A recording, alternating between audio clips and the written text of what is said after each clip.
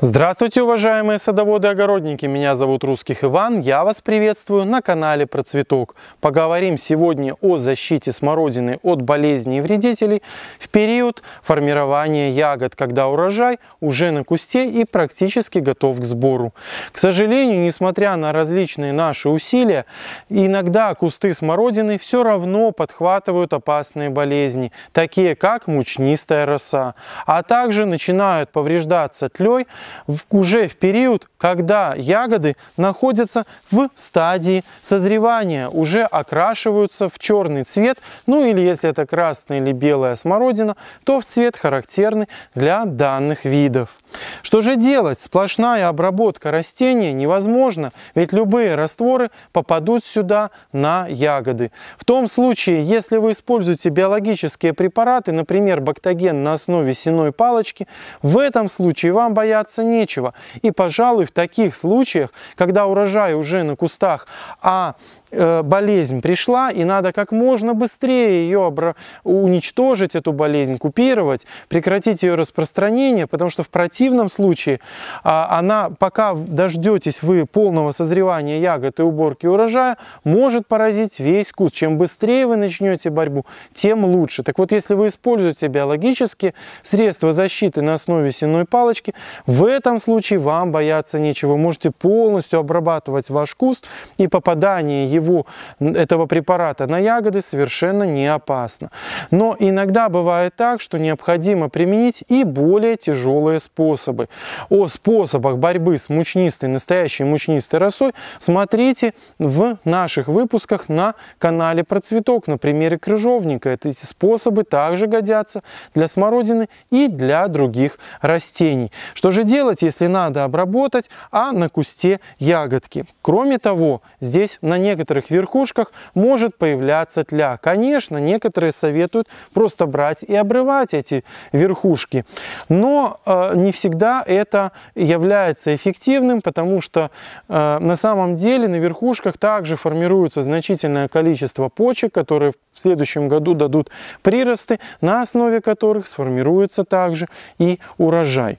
Я вам советую, конечно, этот совет применим в том случае, когда у вас ну, ну, не больше, чем несколько десятков кустов, когда у вас большие посадки, почти промышленные, этот способ практически не применим.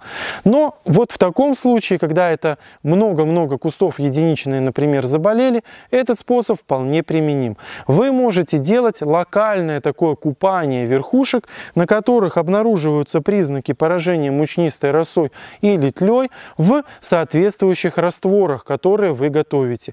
Техника очень проста. Наливаете в банку раствор, это может быть или щелочной настой золы, в том случае, если вы используете его для борьбы с мучнистой росой. Или это может быть мыльно-масляная эмульсия, или что-то еще для борьбы с тлей или той же мучнистой росой, потому что и в тех и других случаях это, это мыльно-масляная эмульсия и мыльно-сывороточная эмульсия хорошо работает. Вы просто берете пораженные зеленые верхушечки и купаете, опускаете в этот раствор. На самом деле за непродолжительное время можно обработать почти целый куст. Ну вот очень много этих верхушечек. Ну вот еще у меня здесь две внизу есть. Ну вот эту еще обработаю, вот эту еще обработаю и еще несколько для профилактики. Вот посмотрите, у меня этот куст растет уже под тенью тетраплоидной лычи сорта комета. И конечно это неблагоприятный фактор для размещения этого куста. Он был здесь размещен ошибочно, потому что именно в тени, именно вот здесь, возле крупного дерева, когда оно подсасывает и питает питательные вещества, и воду, потому что он работает как насос, и дает тень, и формирует те самые благоприятные условия отсутствия хорошего проветривания куста, которые характерны для поражения мучнистой росой. Конечно же, он отсюда будет убираться, но если у вас кусты хорошие, которые вы не планируете убирать, а, поражаются, сделайте вот э, такой раствор, обработку такую локальную, и на период до снятия ягод вы, по крайней мере, сдержите и распространение тлей, и распространение мучнистой росы. После снятия урожая, конечно, надо будет сделать и борьбу с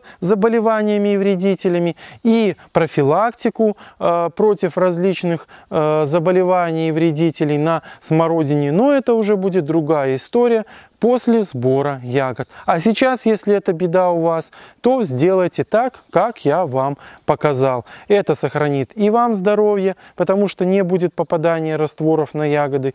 И ведь и ребенок может схватить эту ягоду, понимаете, если у вас дети есть, бегают, схватил, съел. Поэтому надо использовать вот такие щадящие методы, которые иногда могут оказаться и трудоемкими. Однако это возвращается сторицей. Поэтому оставайтесь здоровыми, держите свой сад вклад в здоровье. Желаю вам большого процветания с каналом Процветок. На этом прощаюсь с вами. Всего хорошего.